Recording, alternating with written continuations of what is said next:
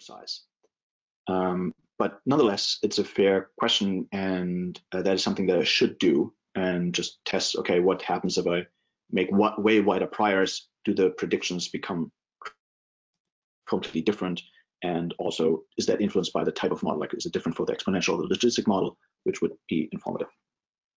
The uh, values of the hyperparameters, how are you selecting them? Are they um, are, are they just kind of ones that you're familiar with, or that you just default ones? So yeah, that is part of the model building process, which is a bit of an art. Um, you try to um, so uh, for example, the group me the group uh, mean of the growth rate was also 0.3, so that is just where I set it. Um, and then so that I just got from the literature, right? So people have estimated that is on average how fast this spreads. Um, and then this still the question remains like how certain do I want to be in this value? And that is a choice that I made.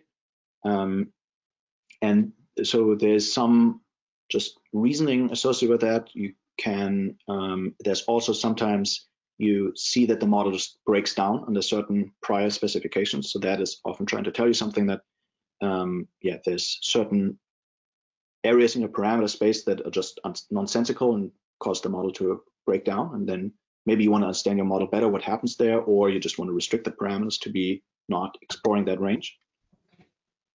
Ideally, you do something uh, which is called a prior predictive check, where you keep um, without having fit the data to da um, having fit the data to uh, the model to data, you just generate predictions from the model based on the priors, and then you can see what type of patterns is the model capable of producing.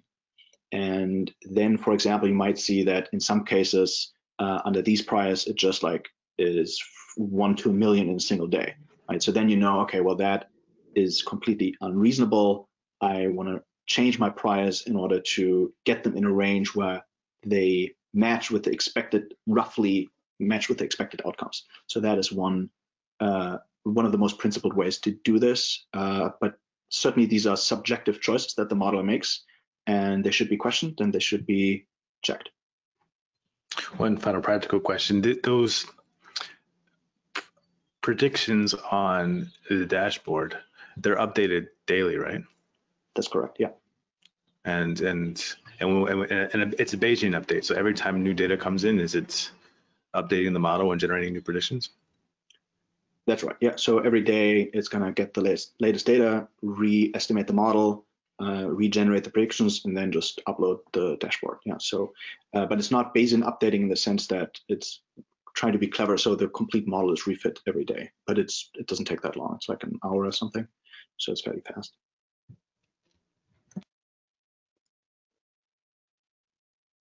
Okay, cool. So then, um, so this is a logistic model for a single country. Um, and then I also ran this for Europe. And so again, don't look at any of these numbers. So he actually started with the number of deaths just because uh, of the sampling issue with the number of um, with the number of confirmed cases, right? So deaths might be uh, a more reliable number. So that is uh, what I started doing here. And but you can see uh, some interesting patterns where, well, for some countries we don't seem to have crossed that threshold where we are outside of the fastest growth. So, for example, Germany, while in Italy, uh, which is the furthest along, we definitely have passed that point uh, of fastest growth in the number of deaths. So the the number of deaths is still going up, but the rate is decreasing.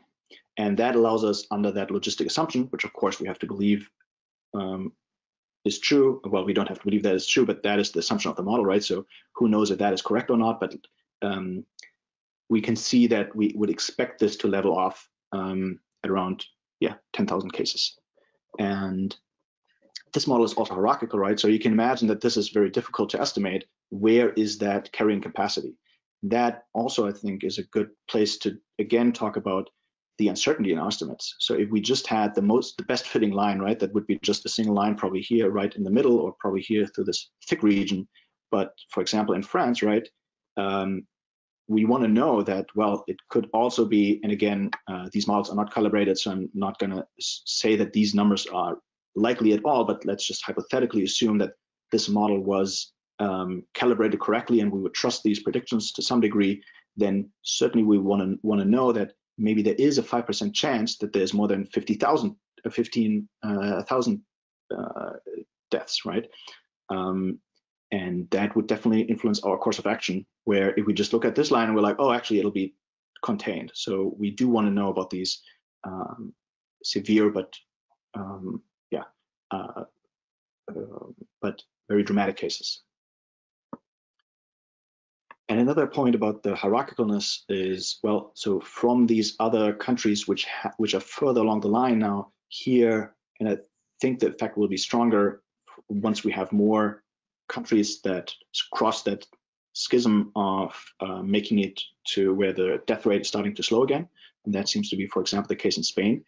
But this carrying capacity, we also can pool across countries. So if that is a reasonable assumption, well, then as time moves on, these um, models can then predict based on how other countries leveled off. This is what I expect other countries to level off to. So this will then probably rein in like France or Switzerland, where we usually have no idea uh, what the carrying capacity is. Cool. So um, yeah, if there's time, I could talk a little bit about SIR models, or we could take. Yeah, like, um, so we're getting towards. Let's let's. I'm gonna. So I, there's a lot of wonderful questions here. I'd like us to maybe go through DSIR models quickly, and then Paul, and then uh, save questions for the end. Cool. Okay. So um, I'm not going to be able to do this justly, uh, just um, justice, but just very briefly. So this is a proper epidemiological epidemiological model where we think there are three buckets of people. You're either susceptible or you are infected with COVID-19 or whatever, and then after a time you recover. And we assume that people move from these buckets um, with certain rates, and we try to estimate these rates.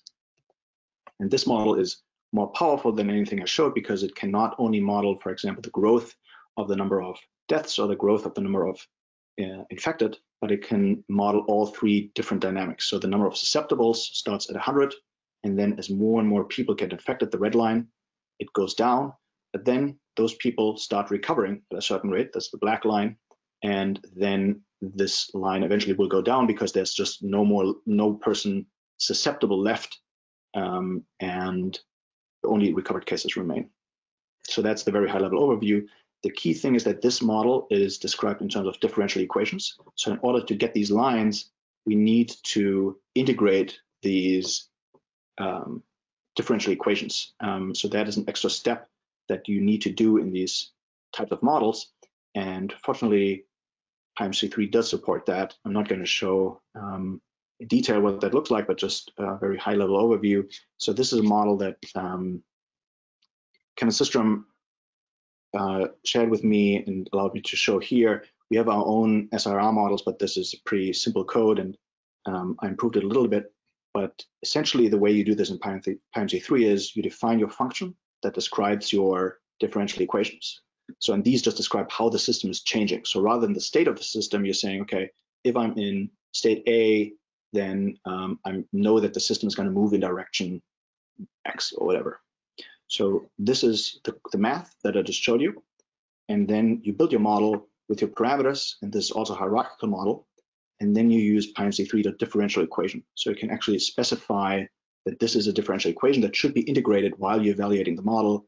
You pass in the function that describes your differential equation and all kinds of parameters to specify what's going on. And then you call sample. We get our posteriors. That looks pretty good. So this took half uh, half an hour. And so he ran this on uh, different states in the US. So this is California, um, the number of cases. Uh, this is just one of those lines, right, that we're extracting from this.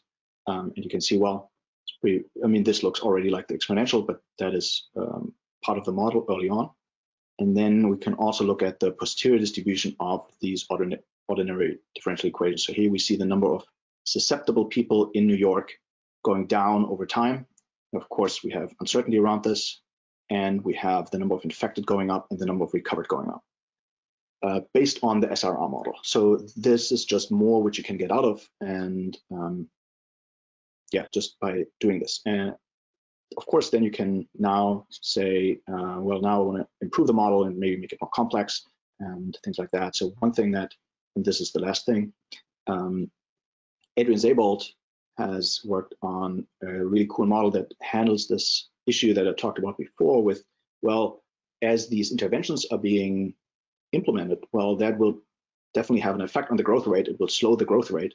So we can either say, well, we have a growth rate before or after, a simple model. What he did is actually place uh, a random walk prior that allows the growth rate to change over time. So we have the infection rate here on the x-axis, on the y-axis, and here's over time. So we don't just have a fixed parameter for all time, but we actually allow it to change. And here we can see, for example, for Italy, that the growth rate, the infection rate really ramped up based on the number of cases of this SIR model, and now then goes down, and you can see that, um, for example, Sweden is just behind. So this seems to be a common case. And Germany started out very high very early on, um, and now it's going back up. Well, anyway, so this is just early results, but the model is really exciting, and uh, Adrian has done uh, a lot of really cool stuff. So I hope he shares that soon. Uh, but yeah, so that's largely it. Then uh, if there's no time, we can dive into questions.